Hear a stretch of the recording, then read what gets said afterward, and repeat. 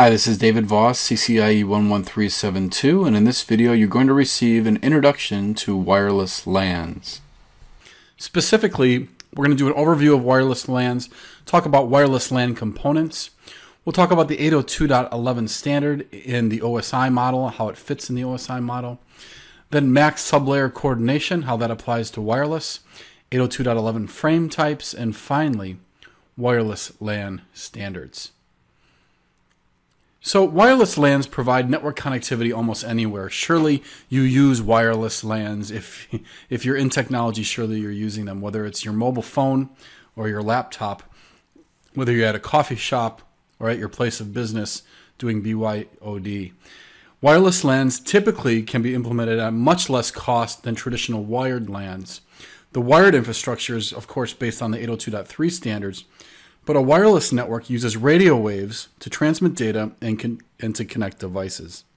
So, as you surely know, a wireless network uses radio waves to transmit data and connect devices. Wireless LANs are defined by the 802.11 standards. Now, some additional advantages of wireless LANs over wired LANs include the following monetary cost, uh, flexibility, uh, that you allow users to roam in places where they normally cannot or uh, use their devices in places they always wish they could.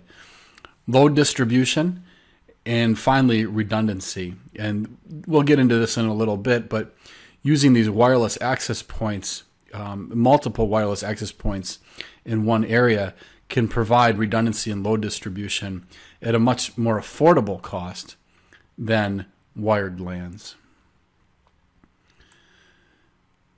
Now there are there are certain components that make up wireless LANs, and let's start with the client, uh, specifically you or any of our customers. Uh, clients are basically an appliance that interfaces with the wireless medium. Now, again, that could be a mobile device, it could be a laptop, it could be a tablet, it could be a PC, but it's basically a device that operates as an end user device. An access point functions as a bridge, basically, between the endpoints and the existing network backbone. So the access point is what the endpoints are actually communicating with. And as they roam, they may change access points throughout the building, but the access points are actually what are getting them access to the network. As you can see in this picture, access points come in many different shapes and sizes, these are just a few examples of access points. The distribution system plays a key role in communications between the customer who's trying to get on the wireless network and the major wireless LAN components that are actually switching, routing the traffic. The distribution system allows for the interconnection of the APs of multiple cells. Think of your organization. If you have one area that's considered a lab and it's a wireless lab, and that ultimately needs to communicate with marketing on the eighth floor. There's, you're going to need a distribution system to communicate between those two locations. The wireless distribution system allows you to connect multiple access points. So, with wireless distribution systems, APs can communicate with one another without wires in a standardized way. Now, that being said, distribution could be wired or integrated. But this capability of communications between access points is absolutely critical in providing a seamless experience for roaming clients and for managing multiple wireless networks. It can also simplify the network infrastructure by reducing the amount of cabling required. Another concept you need to understand is the basic service set. The wireless architecture divides the system into cells, referred to as basic service set and it's controlled by a base station or more commonly an access point. Now, an extended service set is a set of connected BSSs. And then there's the independent basic service set, which is a wireless network consisting of at least two endpoints and no distribution system. So let's draw this out so we can get a better understanding of what we learned thus far. So in any wireless implementation, you're going to have endpoints that need to connect. So, for example, here's a laptop that is connecting to the wireless network. It connects to the wireless network through an access point. The access point is sending out the radio waves which are being received by the laptop. The laptop endpoint then connects onto the wireless network, assuming it has the proper security configurations, and it can then reach the network. Now, access points can communicate not only with laptops, but again, mobile phones.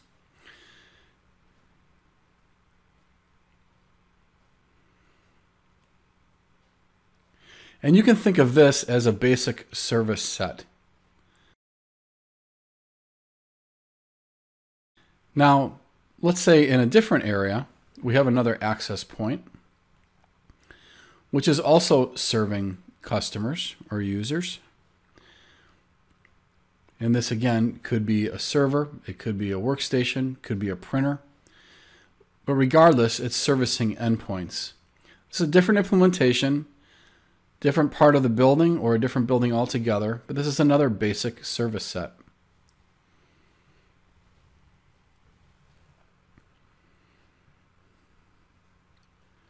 So how do these two basic service sets communicate?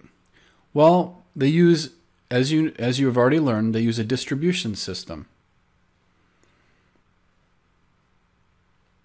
These two DSs can uplink in many ways via wireless, or in this case, that we're looking, here's a wired connection. This is the distribution system that is allowing these two separate wireless implementations or basic service sets to communicate.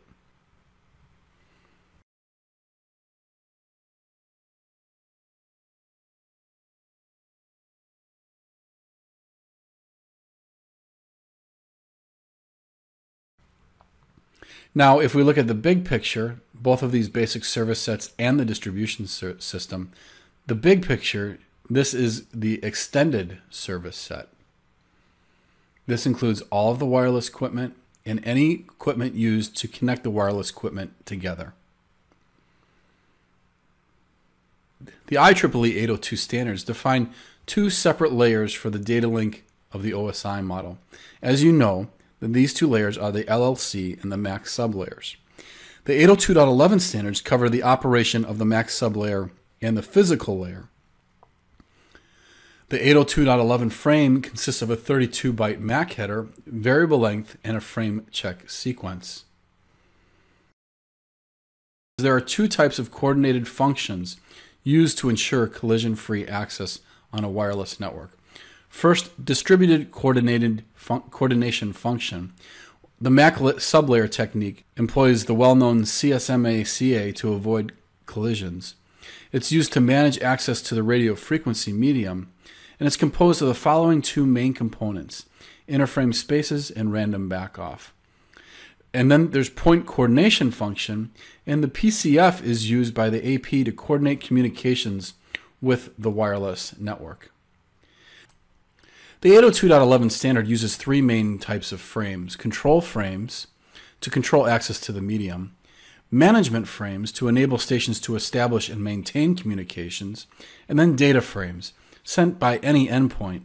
And they, these contain higher layer protocol information or data.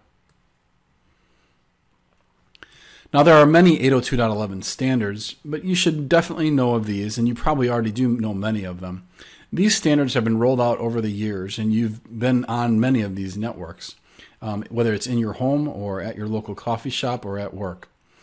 The initial 802.11 standard was serviced up to 2 megabits per second.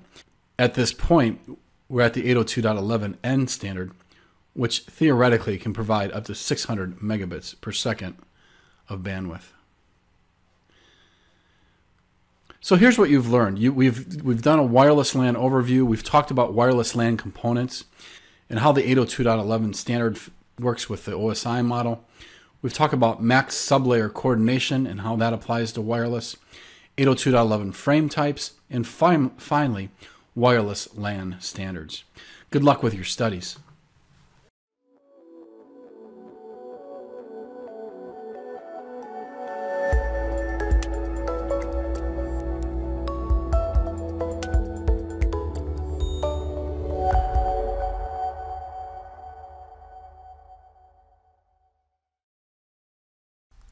Hi, this is David Voss, CCIE 11372, and in this video you're going to learn about the Cisco Unified Wireless Solution. Specifically, you're going to learn about access points, lightweight access points and lightweight access point protocol, wireless LAN controllers, discussing both the modes that it operates in and the interface types, and then mobility groups. So plenty to cover, and let's begin. The Cisco Unified Wireless Network concept includes the following elements. Wireless clients, this includes laptops, workstations, etc. Access points, this provides access to the wireless network. Network management, this is accomplished through Network Wireless Control System. It's a centralized management tool that allows for design and control of wireless networks. Network unification, the wireless LAN system needs to be able to support wireless applications by offering unified security policies such as quality of service and RF management. So the, the WLCs or wireless LAN controllers offer this unified integration functionality. And then network services. Wireless network services are also referred to as mobility services and include guest access or voice services, location services, and even threat detection and mitigation. Standalone access points are also known as autonomous access points. They're obviously very easy to install, but the thing is they can be difficult to manage in large deployments. They're not as desirable as the lightweight access points from Cisco because they must be managed individually. In addition, different parameters must be configured manually on each device, including SSID, VLAN, and security features. The Cisco Unified Wireless Network introduced the concept of lightweight access points and wireless LAN controllers. That's LWAPs and WLCs. These two types of wireless devices divide responsibilities and functionalities that an autonomous access point would normally perform on its own. This technology adds scalability by separating the wireless LAN data plane from the control plane into a split MAC design Lightweight access points focus only on the actual RF transmissions and the necessary real-time control operations, such as beaconing, probing, and buffering. Now, wireless LAN controllers manage all non-real-time tasks, such as SSID management, VLAN management, um, access point association management, authentication, and quality of service. When using lightweight access points, all RF traffic they receive must first go to the wireless LAN controller device that manage this, manages the specific access point. This changes the way in which traditional wireless LAN communication works, even for hosts associated to the same access point. The RF communication between lightweight access points and wireless LAN controllers is handled using the lightweight access point protocol. The lightweight access point tunnel can operate in either layer 2 or layer 3 mode. In layer 2 mode, the access point and wireless LAN controllers share the same VLAN, subnet, and functions with the lightweight access point, receiving 802.11 frames and encapsulating them inside Ethernet toward the wireless LAN controller. When the lightweight access point tunnel operates in layer 3 mode, the lightweight access point receives 802.11 frames and encapsulates them inside of UDP toward the wireless LAN controller. So this implies that the wireless LAN controller can be anywhere as long as it is reachable by the access point. The Cisco Lightweight Access Point Protocol can operate in the following six modes. Local mode, REAP or Remote Edge Access Point mode, Monitor, Rogue Detector mode, sniffer mode and bridge mode. Every 180 seconds, the access point spends 60 milliseconds on channels on which it does not operate. During the 60 millisecond time period, the access point performs noise and interference measurements and scans for intrusion detection events. The REAP mode allows the lightweight access point to reside across a LAN link and still be able to communicate with the wireless LAN controller and provide the functionality of a regular lightweight access point. REAP mode is not supported on all lightweight access point models. Monitor mode is a special feature that allows lightweight access point enabled APs to exclude themselves from dealing with data traffic between clients. Instead, they act as dedicated sensors for location based services, rogue AP detection, and for IDS. In RD mode, the lightweight access point monitors for rogue APs. The, ro- the goal of this rogue detection of APs is to see all the VLANs in the network because rogue APs can be connected to any of those VLANs. Sniffer mode allows the lightweight access point to capture and forward all the packets on a particular channel to a remote machine that is running packet capturing software. And finally, bridge mode typically operates on outdoor APs that function in a mesh topology. This cost effective high bandwidth wireless bridging connectivity mechanism includes point to point or multi point bridging.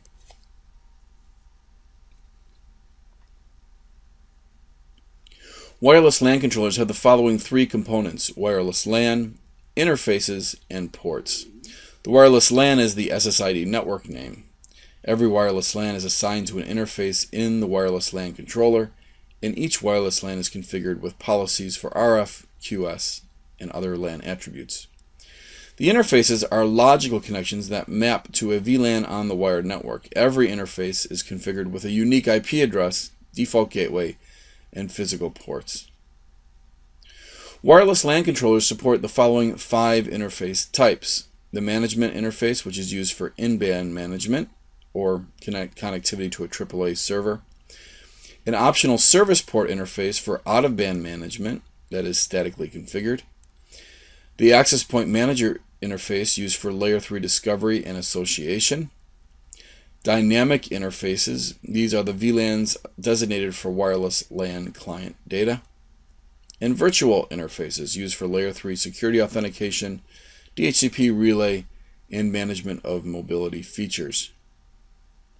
One of the main features of a wireless LAN solution is the user's ability to access network resources from different areas. End users most likely move from one location to another, so designers should scale the wireless network carefully to allow for client roaming. Wireless roaming can be divided into the following two categories intra controller roaming or inter controller roaming. Intra controller roaming occurs when a client moves its association from one AP to another AP controlled by the same wireless LAN controller. Inter controller roaming can operate in either layer 2 or layer 3 mode.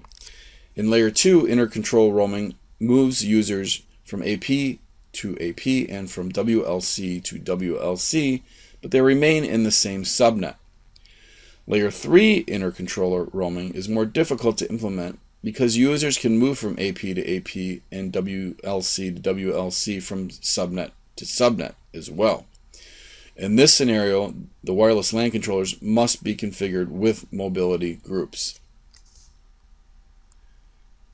Now, speaking of mobility groups, you may be tested on the following communication ports for mobility groups. The Lightweight Access Point Protocol Control UDP 12223, Lightweight Access Point Protocol Data UDP 12222, Wireless LAN Controller Exchange Unencrypted Messages UDP 16666, and Wireless LAN Controller Exchange Encrypted Messages 16667. So here's what you've learned. You've learned about access points, lightweight access points and lightweight access point protocol, wireless LAN controller, modes and interface types, as well as mobility groups. This gives you a good foundation for the wireless portion, at least for unified wireless solutions, and your Cisco CCDA exam. Good luck in your studies.